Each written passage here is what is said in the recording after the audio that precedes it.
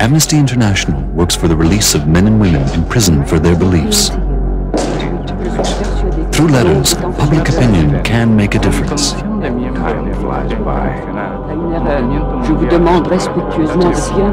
day without freedom, another day.